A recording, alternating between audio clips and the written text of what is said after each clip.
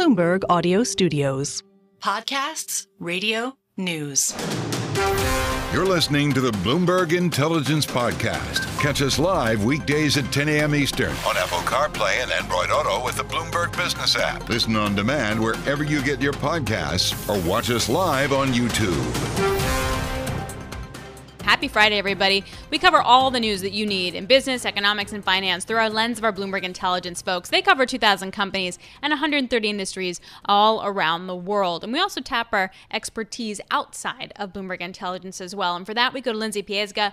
Uh, she is chief economist over at Stifel to talk about the jobs report. Okay, so we get the jobs number. Then a couple hours later, we get uh, Chris Waller coming out and talking about the current batch of data requires action and if appropriate, he will advocate for front loading cuts.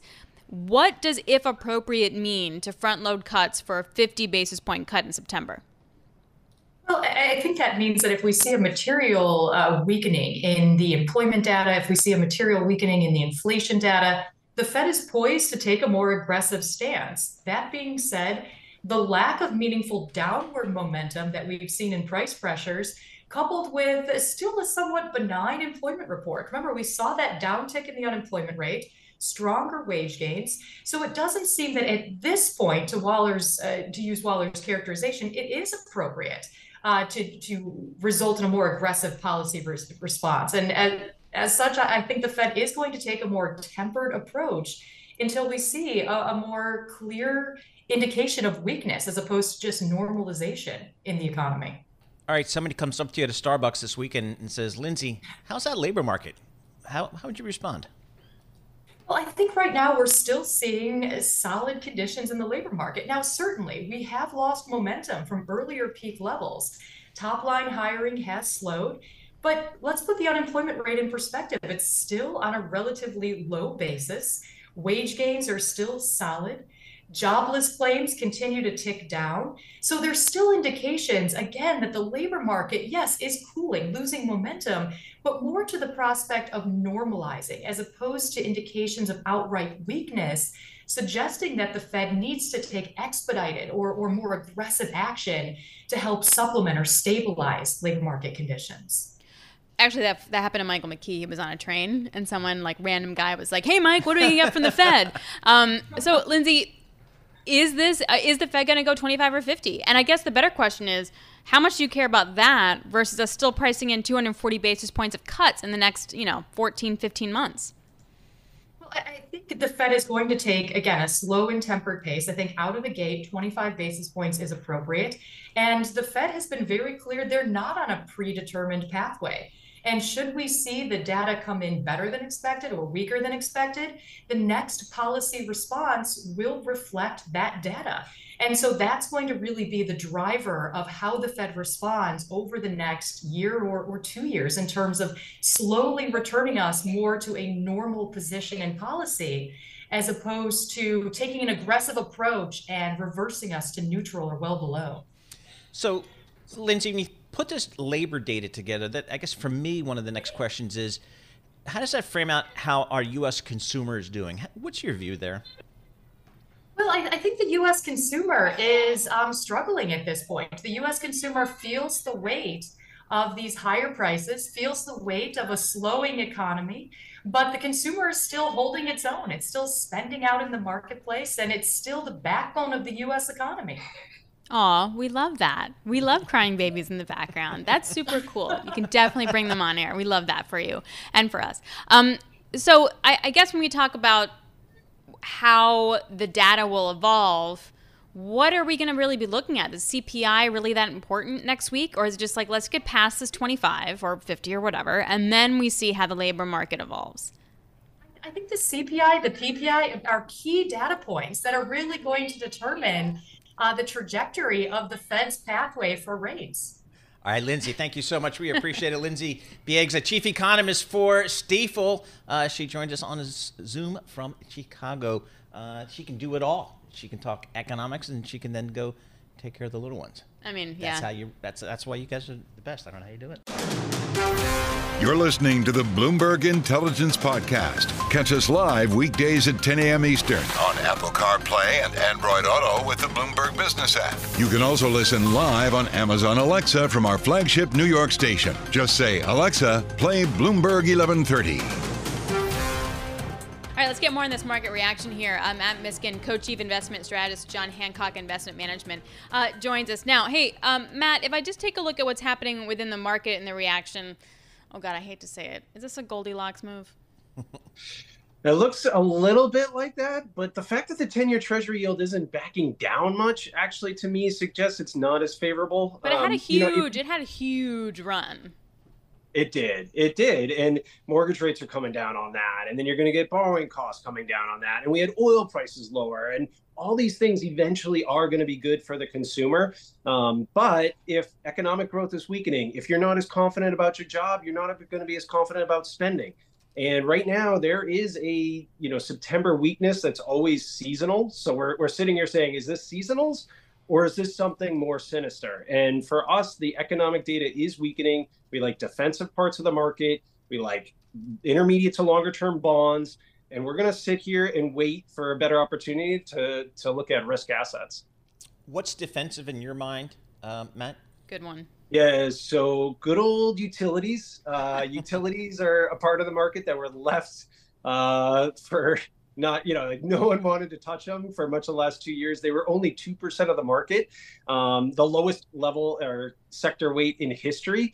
Um, they've been t- on a tear here, and we actually like long lived assets. I mean, t- you know, Alix, as you said, I mean, durate, like this week, treasury yields are meaningfully lower, and longer duration equities should be rallying on that. Utilities are, REITs are, Mhm. even healthcare is getting a bit of a bid. But then you've got things like financials, which have done pretty well here. That's an odd mix. And tech, which used to be the long duration asset, is getting is getting hit. It's true. So it's it's not making a ton. Of, it's not uh, the dots are not um connecting all at once here. It's it's one week, but the trend in terms of the macro data is what it is, and it looks like softening. And we want Mhm. to grab some good defensive parts of the market while they're still here for us. Yeah, and I don't want to make light of the fact that tech's down 1% and calling that Goldilocks, but just the idea that that sort of play versus, say, I mean, I'm looking at Dow Transport, it's only down, quote unquote, three tenths of 1%. So I'm just wondering if it's more of a rotation within the market versus sort of a, a broad based selling. Do you think that uh, when we get a Christopher Waller talking at 11, is that going to be an event risk for you right now? It could be. I mean, you know, right now, I think the Fed, if they push back too hard and say, "Look, we're not, we're not going 50 basis points. We're not ready to cut," um, I think if they do that at this juncture, you're going to be upsetting the bond market. And there's few times in doing this. And since you know nowadays we've got the forward uh, guidance, and we've got you know pricing in of how many cuts. You know, you rewind 10, 15 years ago, people didn't focus on that as much. But now that it's a hundred percent probability of a cut in September, if not more, because you're saying, hey, it could be 50 basis points. If the Fed says no, we're not cutting, that is going to be bad news for everything. Um, and so I think you need to hear the the Fed speakers come out and say, yeah, we're going to cut. And if it, anything against that, I think is going to cause some volatility. Hey, Matt, on the fixed income side, how much credit risk are you guys comfortable taking these days? Not much at all, Okay. frankly. Um, so we started the week at 300 basis point spread between junk bonds, high yield bonds, and treasury bonds. And to put that in perspective, last times that's happened 2021 before spreads widened 2022, 2007 before 2008, 1999 before 2000. And 300 basis points is historically really tight spreads. And to us, that's just not a lot of value. We prefer, if you're going to go even in investment grade corporate bonds, more of a single A type of average portfolio um, credit rating. And then we like agency MBS. We like all those bonds or all those mortgages that people locked in low mortgages. I don't think there's any prepayment risk. People probably aren't going to be moving again. True, true, Um, true, true. And it's it's good for their balance sheets. So you know they're yielding about five percent for four to five percent right now. So um, we're just looking some high quality bonds. Add that to the portfolio. Lock in these yields while you got them because that cash balance that everybody's loved so much, that money market interest rate, in our view, that's gone into 2025. Not completely gone, but it's going to be I mean, cuts. I'm I'm waiting for it. We still hit another record high uh, at the end uh, of last week, according to the data that came out. Um, so, do you think that it matters if it's 25 or 50 in September, and or is it really how many cuts we're going to be getting? I mean, we're still pricing in something like almost 10 cuts through the end of next year. Right. And, you know, I, I think about it as like, you know, getting lost in the forest. Wait, is it the forest and the trees, Alix? Can't Is see it- the forest from the trees? right. Yeah, something like that. So the, the past couple cycles, uh, on average, the Fed has cut from peak to trough 17 times. Now that's Oh. 25 basis point cuts, but 17 times is how much the Fed usually cuts in a cutting cycle. So whether or not they cut one time or two times at the first cut, don't get lost in that. Don't overdo it. What you want to do is set up for where this where does the end of the Fed funds rate go? Where do we go on the 10-year yield?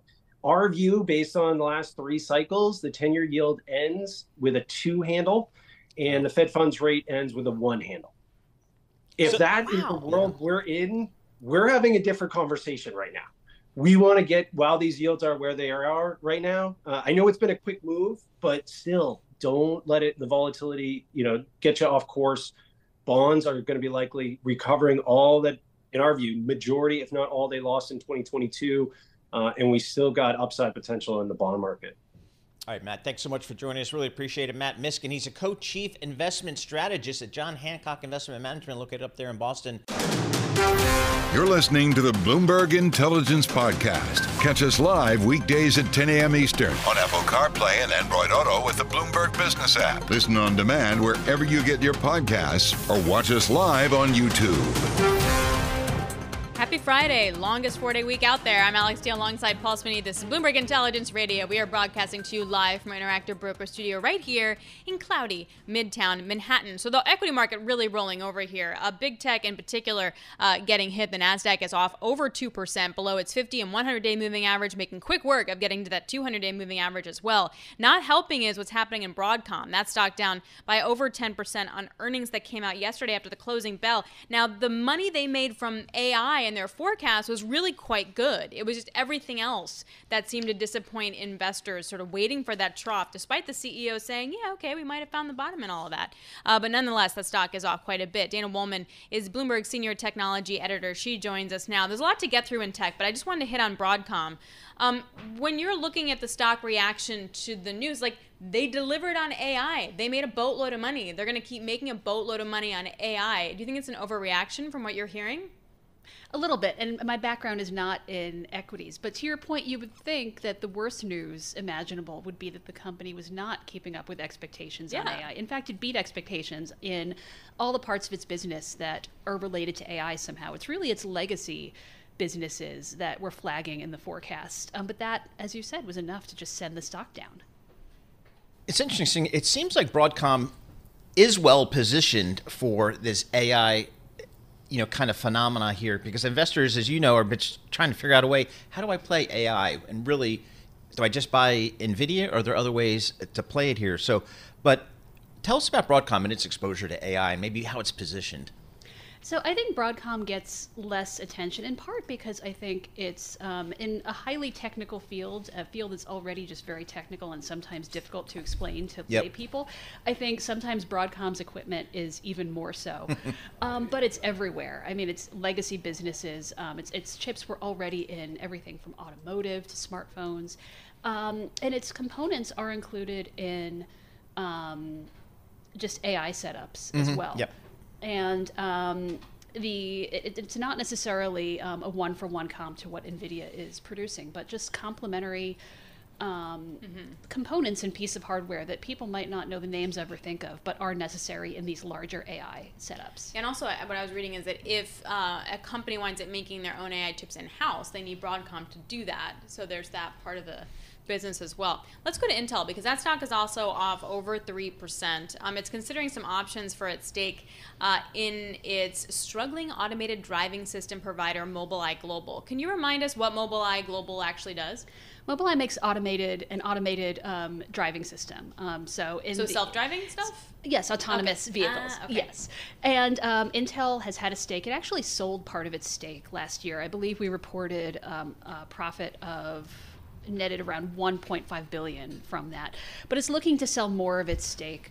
Um, and as we report in the story, it's picking if it's going forward with this, it's picking a not great time. Uh, stock has been um, down a lot. And um, so Intel would not exactly be recouping on its um, investment if it chose this moment. But as we reported more broadly, Intel is in a dire moment. Um, it does seem to be considering some really desperate, um, severe measures to keep itself afloat. Yeah, I mean, I'm just, I mean, it's in, Intel. It's down 62% year to date, 52 week low, down 3.6% today.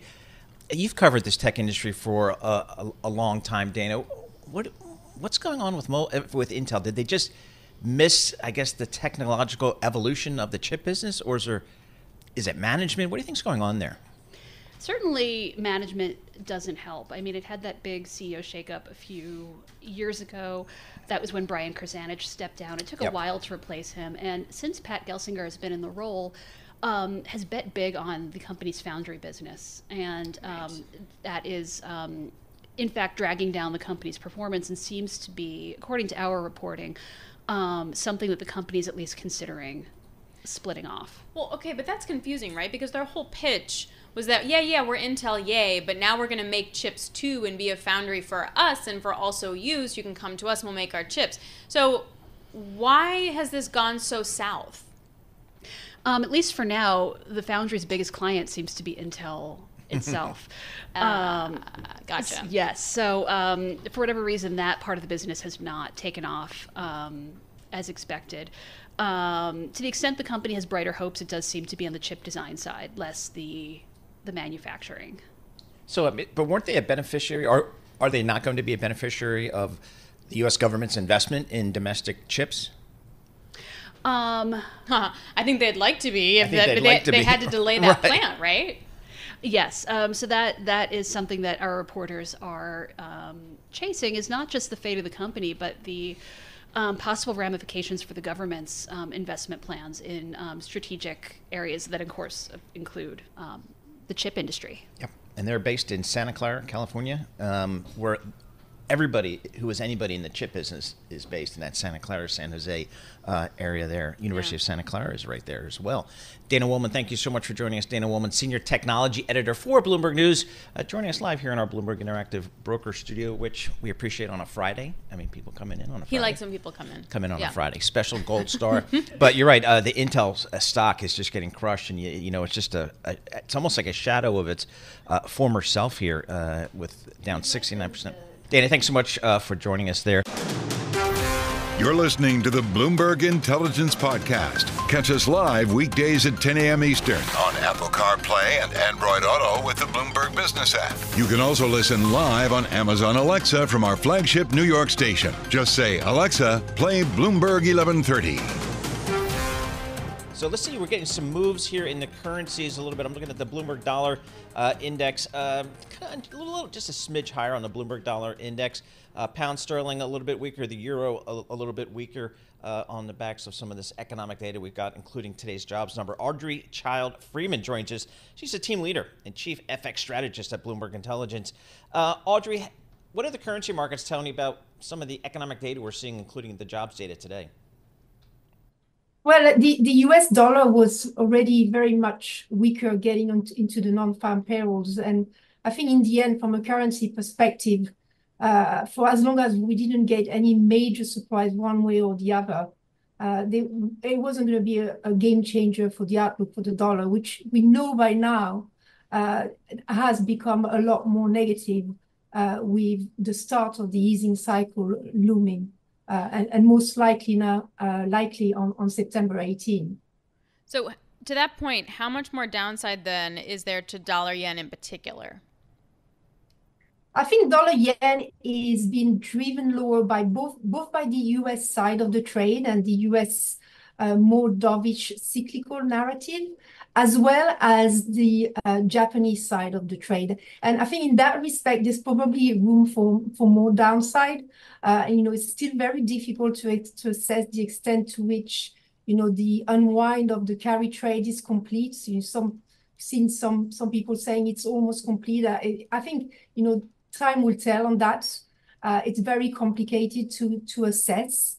Uh, but I think that you know the the the rate differential uh, that's been driving driving dollar yen lower from 160 to 142 is going to continue uh, into Q4. We're most likely going to see a, rate hike from the BOJ uh, and and potentially even more next year. Uh, so I feel that you know the dollar yen peak is probably for me in the G10 currency space the most obvious one to uh, expect to continue lower with the main question being how fast does it go lower? And for me, I've been in the camp that we're probably going to see a slide as opposed to another slump. So, Audrey, what currency out there offers the best value from your perspective, do you think? Well, if if you're dollar bear, and I think for now we still are dollar bearish, even though you know I kind of feel that uh, the, this narrative that I've been describing about you know weakening U.S. economy, lower Fed rates, it's in the price, and I, I kind of feel at some point the risk would be that there's too much uh, dovishness priced in, in the Fed because the U.S. economy, let's be clear, is not really falling apart. Uh, it's just decelerating. Inflation is coming down, and that means that we can normalize interest rate in the U.S., and that's fine. Um, but you know, in terms of which currency to play against, I, I said the yen is a good one. I also kind of like the Swiss franc, uh, just because I feel that you know euro dollar upside at the moment is a very tricky one because there's one element in the euro euro euro dollar bullish story that I'm still waiting to unfold, and that's a pickup in economic activity. We're not seeing that happening in Europe. When that happens, I think there'll be more momentum uh, to the upside on the euro. And until that happens, I think dollar Swiss downside may be more appealing. And the other advantage of the Swiss franc, I think, at the moment is the fact that, you know, we've seen some episode recently of more hesitant uh, market risk appetites. Uh, and the Swiss would do better if we were to see another phase of risk off markets. So mm-hmm. do- dollar dollar Swiss downside is, is another very good an interesting pair, I think, uh, as we contemplate the outlook yeah. uh, into Q4. In just about 30 seconds, what do we get from the ECB next week? We get another cut, uh, and I don't think that's going to be too damaging for the euro, but the euro badly needs an improvement in the economy. That's what we need for euro dollar upside to, to go through 112 and 115. All right. Thank you so much, Audrey. Really appreciate Audrey Childe Freeman joining us, team leader and chief FX strategist uh, at Bloomberg Intelligence. Need a better economy. Like, how do you get that? You just take a look at Germany and then the news maybe that Volkswagen's going to um, close down some of its plants. Yep. Their industrial economy is just really suffering. How do you get the whole Eurozone to really start to outperform when Germany is really in the doldrums here? Yeah, and that kind of a lot of it, it stems from they're just a big exporter, uh, particularly to China. Uh, and if the Chinese economy is slowing, it has been slower than expected, and that impacts big uh, export nations like Germany. And I saw that in that German re- reporting about the auto factories, they mm-hmm. haven't closed auto factories since 1937. Yeah. So, I mean, uh, th- that's not in their DNA to downsize. Yeah. Um, there was an interesting report out by Nomura that talked about how it's really tourism that is keeping uh, services up ah, and keeping the ah, euro economy af- uh, afloat. So we'll see what then happens when you get out of the summer. Well, John Tucker and I are the only people I know that haven't been to Europe like in the last year. So we're just. I haven't gone anywhere in a year and more. I hadn't been out of New Jersey in like 20 years. That's not true. You come to the city. You're listening to the Bloomberg Intelligence Podcast. Catch us live weekdays at 10 a.m. Eastern on Apple CarPlay and Android Auto with the Bloomberg Business app. You can also listen live on Amazon Alexa from our flagship New York station. Just say, Alexa, play Bloomberg 1130. Joanie Bily. She is the Chief Workforce Analyst at EmployBridge, uh, joining us from Omaha, Nebraska via Zoom. Uh, Joni, you and EmployBridge, you know exactly how employers are feeling here. What did you make of this jobs print here today? Well, this report definitely proves we have a weakening job market. Um, we've been saying that certainly for some time. We feel it in the temporary help industry um, our industry, the staffing and recruiting, you know, uh, of temporary workers has really been on a decline for about two years. And those are always the jobs that go first. I think we've talked about that in the past. Um, so it's pointing to, you know, more weakness. Um, obviously, this report did not meet the expectations. I kind of thought we might see this um, just because, you know, I'm constantly talking to employers of all sizes across the US. And there's a lot of uncertainty. There's economic uncertainty, and then there's also the election uncertainty. And so I think right now we're seeing a pause on hiring. Um, and employers are, are just not adding to their payrolls mm-hmm. um, due to that uncertainty. So, Joanie, that's such a great point. So, they're not adding to payrolls. What do you think it's going to take for them to start laying off their payrolls? Well, we are seeing some layoffs here and there. Um, so, that is, you know, concerning. What I think will maybe reverse the trend, I mean, it's going to be a number of things. Um, you know, I hate to say it, but we might have to get past this election, regardless of who wins, until employers can say, all right, I have to find my path forward, and here's where I'm going to invest and hire. I think interest rate cuts will help certainly and you know maybe we'll see a little bit of relief if we do see um, you know, an interest rate cut, which I, I think we're all in agreement that we're probably going to see one. The big question is how large of a cut will they do? And there's going to be a lot of scrutiny, uh, certainly around that, because that could signal, you know, are we maybe in a worse um, economic picture um, than people had realized? But I do think an interest rate cut will definitely help um, because employers will then start to loosen up, you know, the, those purse strings and start investing again in their businesses, and that can certainly lead to more hiring. Joanie, I like in your notes here something very interesting. Employers are focused on employee retention, but they are very cautious about hiring and adding to their current payrolls. How long yes. have they, how long have employers kind of been in that mode? Yeah, no, that's a great question because that pendulum definitely swings um, from one side to the other. But I would say that we've seen over the last year um, employers very focused on retention strategies. Now, there's a few dynamics of what's happening. Um, certainly in the supply chain world, you know, most of those workers are on site. Um, in the professional and business services, we've seen employers trying to bring people back to the office, but they're balancing that with also trying to give them flexibility. So they're very focused on what types of benefit programs they can give to them. Um, of course, wages, you know, need to stay competitive.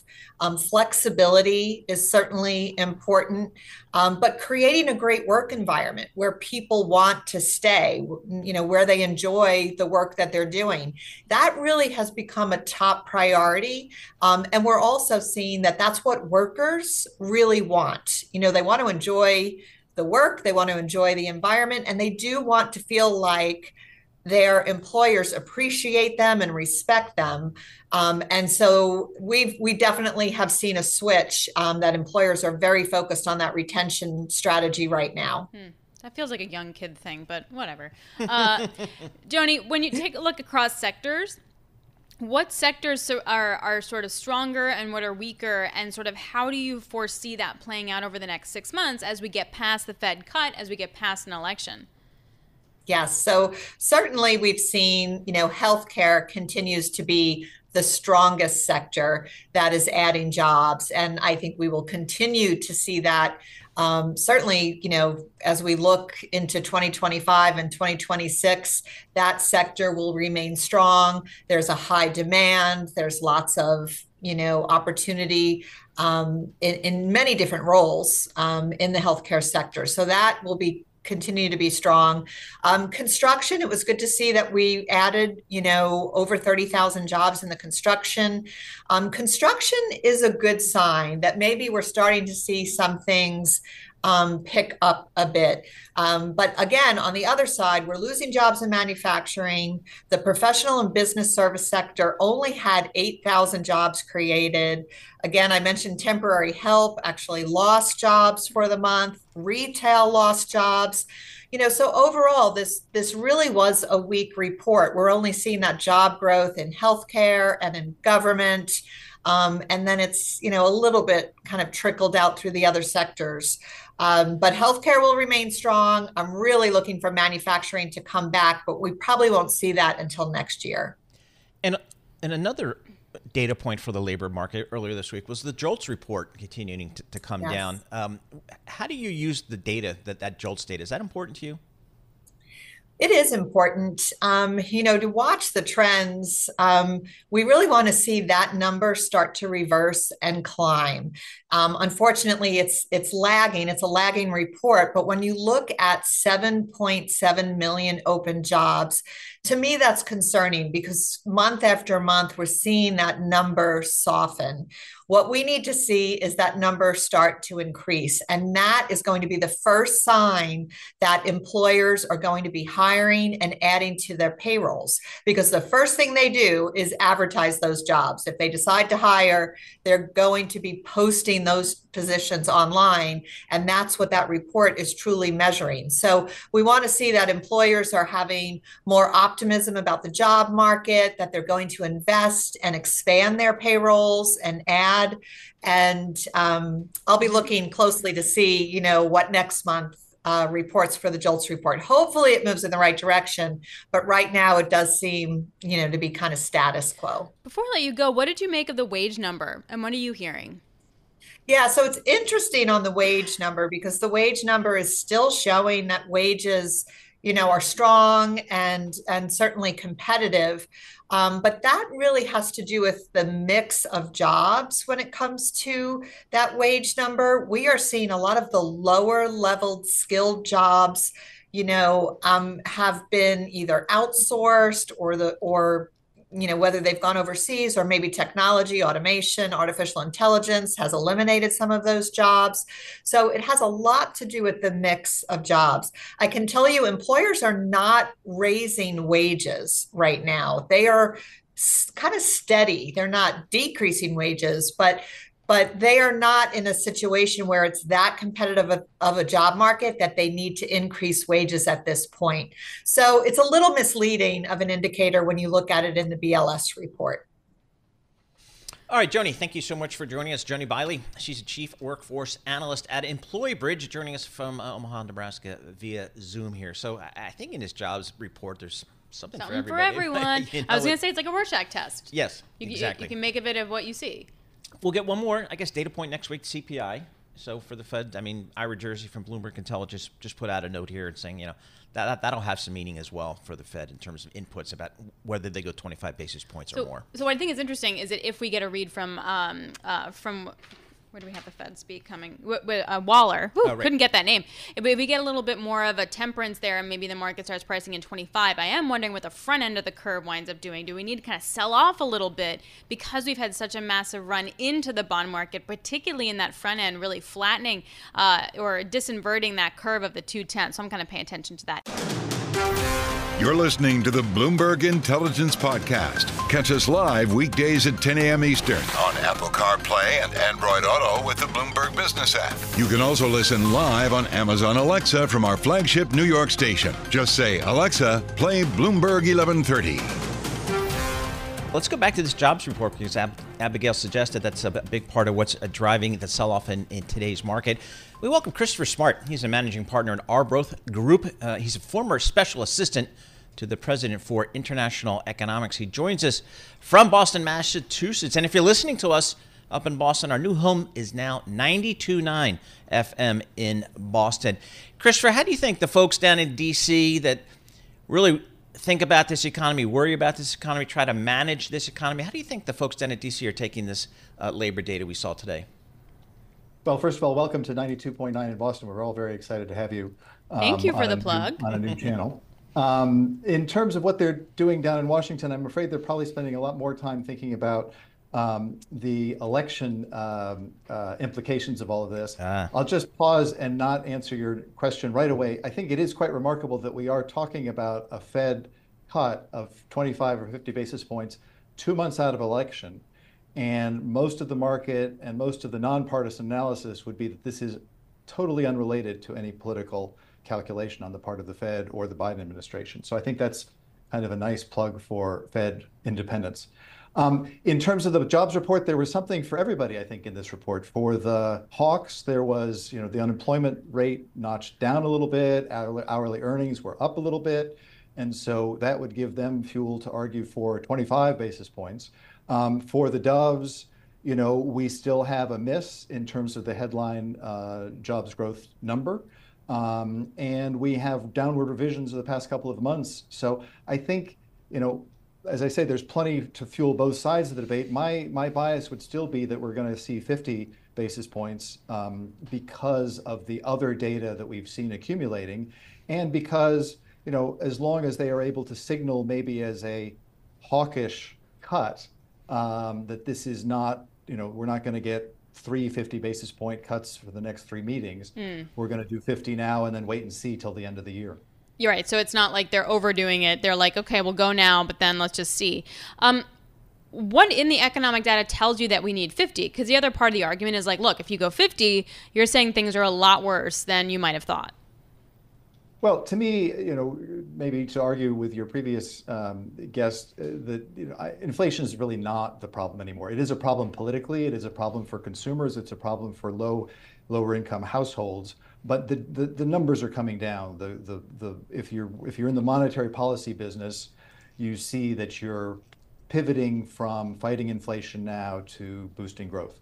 And I think they have plenty of room to move from current levels down to something a little bit a little bit easier, if not, you know, it's certainly going to be still in the in the tight range. The economy is slowing in the U.S. There's much more slowing going on in Europe. China is obviously stuck right now. Um, so I don't see the risks to inflation right now. And I really think, as you see, you know, that is those are big headlines coming out of Governor Waller's speech. If that's the broader message he intends to deliver, you know, I, I think that's going to increasingly turn markets towards expecting 50 next time. Uh, Chris, you mentioned kind of the timing here. We're in an election year, and it looks like this Federal Reserve is going to be pretty active in terms of making some policy changes right around this election. How uncomfortable do you think that makes the Fed? I think it makes them very uncomfortable. I mean, um, Jay Powell's been asked about this through a couple of different meetings. He's been very forceful and I think very credible at saying, look, we don't, you can, you can read our minutes, we don't talk about this. We don't talk about the election. We don't talk about any of that. We look at the data. It's hard enough getting the data right, and it's hard enough setting monetary policy for this dual mandate, uh, let alone taking other um, uh, uh, other election implications into view. So I think uh, it is it is notable that they are they feel free to do it now. I think they don't love the fact that they have to do it now, but they I think feel that this is the right time. The data is pointing in that direction. Markets are expecting it and that they can move ahead. I, I don't think they'll get any more, you know, cuts in October or anything like that. Um, but they'll pick up after the election and see where the data uh, guides them. You were also a former special assistant to the president for international uh, economics back in your uh, previous life from 2013 to 2015. We've been getting a lot of information about economic plans, particularly when it comes around corporate taxes. And I'm wondering if you've been able to think about or model out um, the different outcomes on corporate tax policy. Like clearly, yes, lower corporate taxes will be good for the S&P, but in terms of say reinvestment and economic growth. Well, the devil is always in the details. President Trump's proposal is eye catching in terms of a dramatic cut in the headline rate, but that seems to be linked with manufacturing things in the United States. And I think he talks about, you know, 100% manufacturing in the United States. Very little, as you know, is 100% manufactured in the United States, given the inputs to, um, uh, to, to manufactured goods that come from many, many other countries. Sometimes, you know, I think they say that if you buy a car in the U.S., there are parts that have crossed the Mexican border five or six times before it reaches the, the dealer's lot. Um, I would guess what markets are expecting is that you know corporate rates are probably not likely to move much more in, from where they are right now. Vice President Harris is in line with the Biden proposal to raise them to 28%. President Trump is talking about 15%. You know, we have this thing called Congress, which is a big toss up and more likely than not, you know, it may move one or two basis, one or two percentage points up or down, but it's not going to be a significant uh, shift. I don't, I don't think. So, Chris, to what extent are you, your team, folks in Washington D.C. Are they talking about you know annual deficits? I mean, and annual deficits, the national debt. Is that is, is this something that any gets any serious conversation? Yeah, I mean, de- I'm sorry, debt deficit. What, yeah, yeah, what, totally. What, um, I, I think people like us do talk about it. People in the markets do worry about it. But if you are a politician and you're mm. looking at the next election, why should I worry about this thing that's going out 10, 20, 30 years when I've got to win uh, in November? Yep. So, and, and, and, you know, you're telling me that credit markets are going to punish me for bad behavior? Well, when? Mm-hmm. I, you know, I mm-hmm. haven't seen it yet. And, um, you know, why, why take on that, that, that, uh, thorny issue now when I don't have to. Well, this is so what gets I, confusing, I think, about the trade deficit too. Like to that point, like don't we need the trade deficit because we need foreign investors and countries to buy our debt. So if we close the trade deficit, there's less money for them to do that. And that's where I think I get a little confused on all of it. Well, you're not at all confused. I mean, you're absolutely right that we, you know, we uh, those things are intimately related, and nobody likes to talk about that. I, you know, I think the focus on the trade deficit raises a lot more issues around our savings rate, our investment incentives, and that sort of thing. Rather, you know, the, the, the, proposals that we tend to go to easily as policymakers and politicians, which are tariffs, um, generally don't tend to do much to redress those differences in, in, in trade deficits that people want to because we are so interlinked in so many ways with our foreign markets and with other foreign markets. A bilateral trade deficit gets a lot of attention between the U.S. and China, but really the over it's really the overall balance of trade that we have with with all of our trading partners that will matter.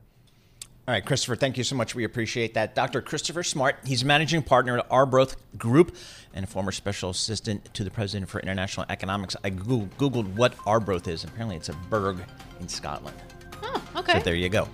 This is the Bloomberg Intelligence Podcast, available on Apple, Spotify, and anywhere else you get your podcasts. Listen live each weekday, 10 a.m. to noon Eastern, on Bloomberg.com, the iHeartRadio app, TuneIn, and the Bloomberg Business app. You can also watch us live every weekday on YouTube and always on the Bloomberg Terminal.